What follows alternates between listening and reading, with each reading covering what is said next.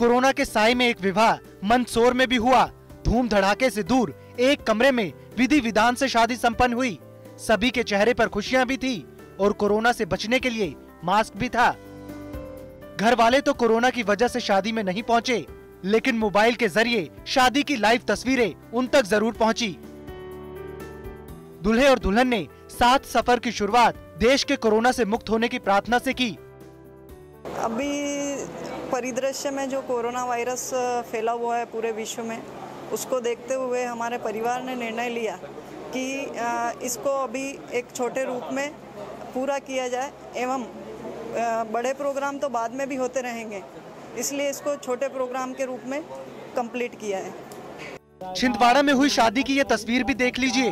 Corona के काल का साया इस शादी पर भी पड़ा। धूम धड़ाके से दूर, शादी बड़ी सादगी से हुई। वर वधु और शादी कराने वाले पंडित भी मास्क में नज़र आए।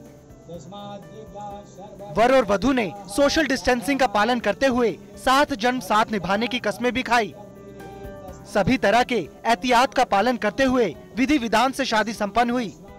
कोरोना वायरस के चलते हमने कम से कम लोगों में और शासन का जो निर्देश था, उसका पूरा पालन करते हुए डिस्टेंस बनाते हुए कम से कम लोगों के बीच में संपन्न करने के लिए प्रयास किया। मेहमानों का ना आने का दुख है लेकिन जान है तो जहाँ शादी में सोशल डिस्टेंसिंग का खास ख्याल रखा गया। प्रशासन से बकायदा शादी की परमिशन भी ली गई। अनुमति मिलने के बाद पुरोहित समेत दस लोगों की मौजूदगी में शादी संपन्न हुई।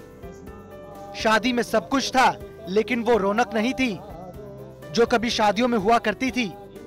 लेकिन जब वक्त मुश्किल हो दुनिया महामारी की चपेट में हो तो दुनिया को भी अपनी रफ्तार बदलनी पड़ती है और अपने संस्कारों की दिशा मोड़नी होती है।